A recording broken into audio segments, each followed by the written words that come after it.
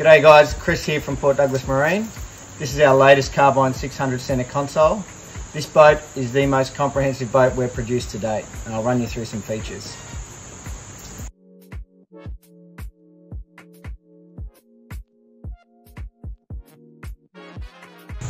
Starting with the console here, we look underneath, we've got our two trolling motor batteries with our DC-DC charger, our EPIRB and fire extinguisher mounted handily underneath. Got our Plastech glove box, VHF radio. Moving up, we've got a voltage display for our trolling motor batteries again with a USB charger, fusion stereo, fuel gauge, twin cup holders, 16 inch Lowrance screen, Volvo Penta trim tabs, compass, and obviously our anchor light, which we also have a position for the anchor light down in the transom.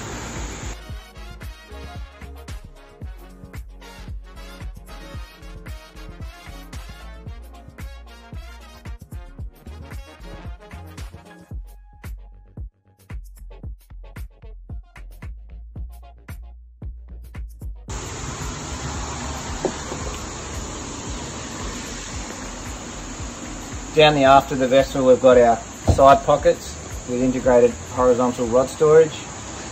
Got our grab handles for the kids on the side here and three rod holders up either side of the boat. Coming over the centre we've got our courtesy lights with integrated switching.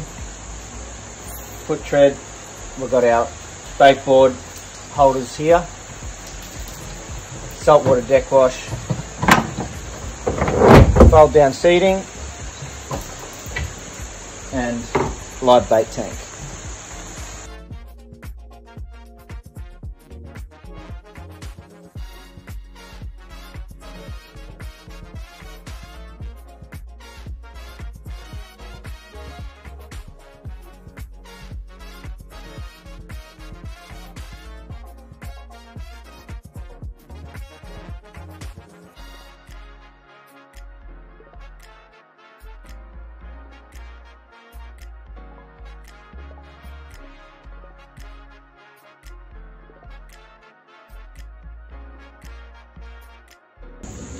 As we come to the transom here, we've got our swim steps on both sides, our grab handles, a saltwater pickup for the live bait tank and deck wash, a Volvo Penta Interceptor trim tabs, our new design scuppers, our 3-in-1 transducer with a through hole transducer mounted underneath, obviously our underwater lights here, and our integrated ladder for the swim step.